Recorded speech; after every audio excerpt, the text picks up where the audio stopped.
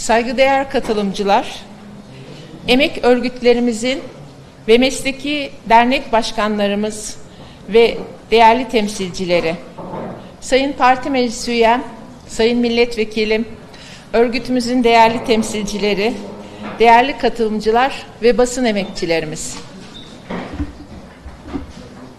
Hemşirelik ve ebelik meslek çalıştayımıza hoş geldiniz.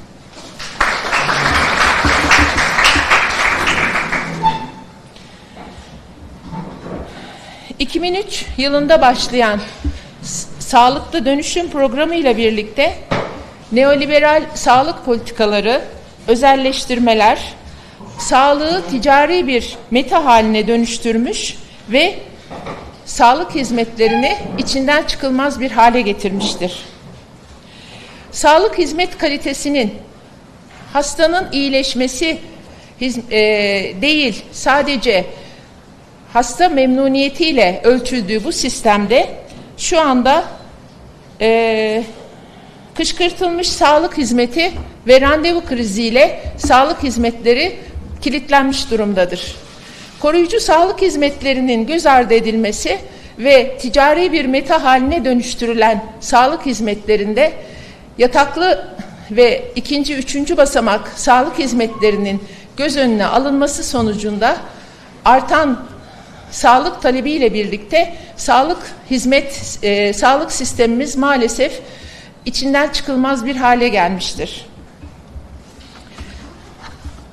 Bugün yoğun iş yükü, kısa muayene süreleri, hizmete ulaşmada engeller ve kısa muayene süreleriyle ve malpraktis baskısı altındaki sağlık emekçilerimiz, hekimlerimiz maalesef sağlıkta şiddetle yüz yüze gelmektedir.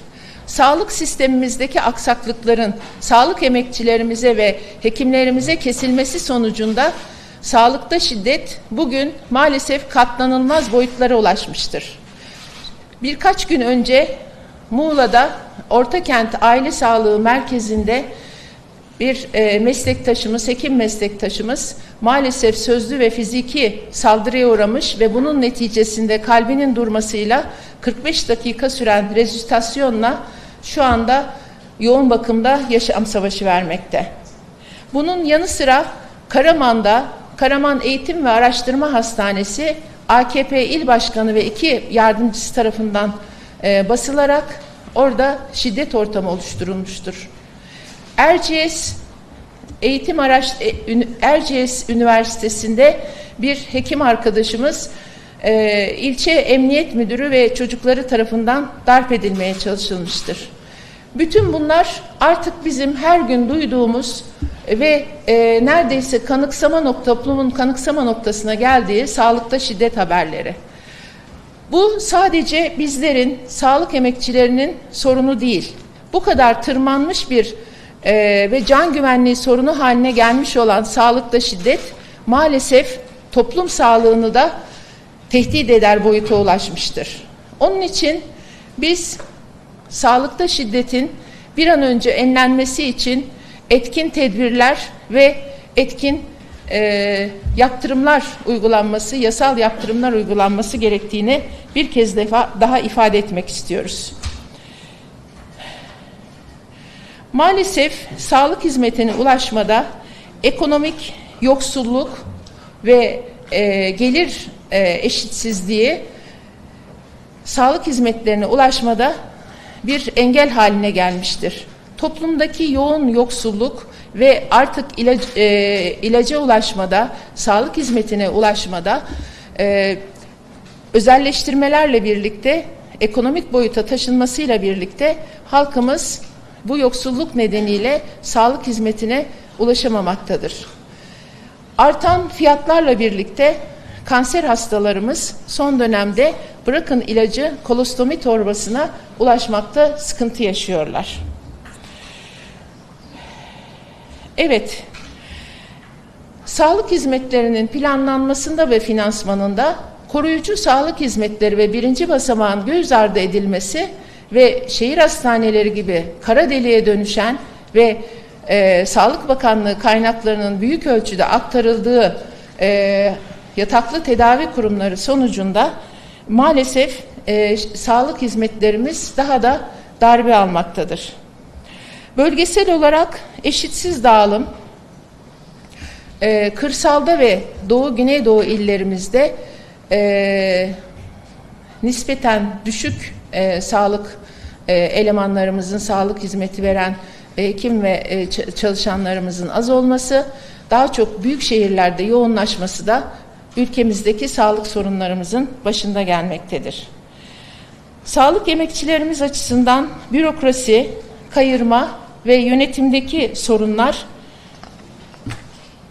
tüm bunlar sağlık emekçilerimizi işinden e, işine yabancılaştırmakta ve mobbing ortamında çalışma koşulları gittikçe ağırlaşmakta ve tükenme noktasına ulaştırmaktadır. Biz şunu biliyoruz. 22 yıllık iktidarında AKP maalesef sağlık hizmetlerimizi bugün artık ulaşılamayan, sağlık hizmetini almakta sıkıntı yaşadığımız ve paran kadar sağlık noktasına geldiğimiz bir noktada çözüm oluşturamamaktadır. 22 yıllık iktidarın sonucunda ülkemizin geldiği nokta ortadadır. Sadece bakan değişikliği, isim değişikliğiyle sorun çözülmeyecektir ve yeterli değildir. Sorunların asıl kaynağı olan iktidardan çözüm beklemiyoruz. Biz tüm bu sorunları çözmek için sağlık hakkını önceleyen kamucu baş, bakış açısıyla eşit, nitelikli, ulaşılabilir, adil bir sağlık sistemi kuracağız. Cumhuriyet Halk Partimizin iktidarında sağlık emekçilerimiz güvende olmadan ve mutlu olmadan, iş barışı sağlanmadan nitelikli sağlık hizmetinin verilemeyeceğini ve sağlık hizmetindeki sorunlarımızın çözülemeyeceğini de biliyoruz. Onun için tüm bu sağlık sistemi içinde sizler sağlık emekçilerimizin güvende olduğu ve mutlu olduğu bir sağlık sistemini hep birlikte kuracağız.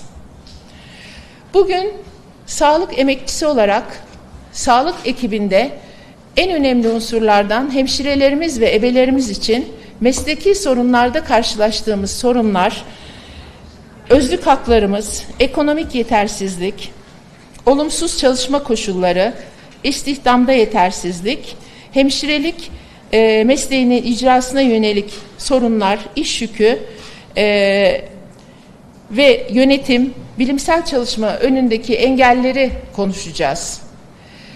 Artan iş yüküyle hemşirelerimizin ve ebelerimizin e, sağlık hizmetine ulaşmada en önemli unsurlardan olan hemşirelerimizin ve ebelerimizin artık tükenme noktasına geldiğini biliyoruz.